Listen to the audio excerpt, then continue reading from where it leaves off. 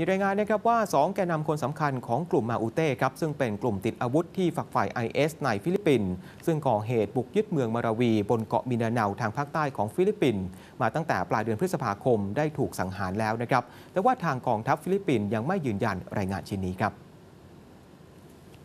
สำนักข่าว AP รายงานอ้างการเปิดเผยของตำรวจและทหารฟิลิปปินส์4นายครับว่า นายอิสนิลอนฮาปิลอน ที่อยู่ในรายชื่อผู้ก่อการร้ายที่เป็นที่ต้องการตัวมากที่สุดของ FBI และนายโอมาคายัมมาอูเต้สองแกนนำนักรบมาอูเต้ที่ฝักฝ่าย IS ได้นำกำลังบุกยึดเมืองมาราวีได้ถูกสังหารแล้วนะครับ ในระหว่างการประทะเดือดกับทหารหลายพันนายในเมืองมาราวีข่าวการเสียชีวิตของสองแกนนำมาอูเต้ยังไม่ได้รับการยืนยันอย่างเป็นทางการครับ ขณะที่กองทัพได้ปฏิเสธที่จะให้ความเห็น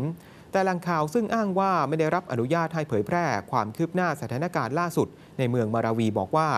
ทั้งคู่ถูกสังหารในช่วงเวลาใกล้เที่ยงคืนเมื่อวานนี้ครับและเจ้าหน้าที่สามารถช่วยเหลือตัวประกันได้ 17 คน รวมทั้งเด็กและผู้หญิง ทั้งยังถ่ายรูปศพของพวกเขา และเปรียบเทียบกับภาพถ่ายในแฟ้มภาพครับ แต่นี่ไม่ใช่ครั้งแรกนะครับที่มีข่าวการเสียชีวิตของนายฮาปิลอน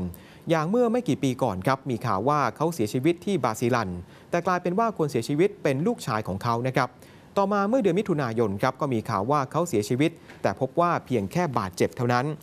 ความรุนแรงในมาราวีที่เกิดขึ้นตั้งแต่ปลายเดือนพฤษภาคมทำให้มีผู้เสียชีวิตมากกว่า 1,000 คนครับรวมทั้งสมาชิกมาอูเต้ 800 คน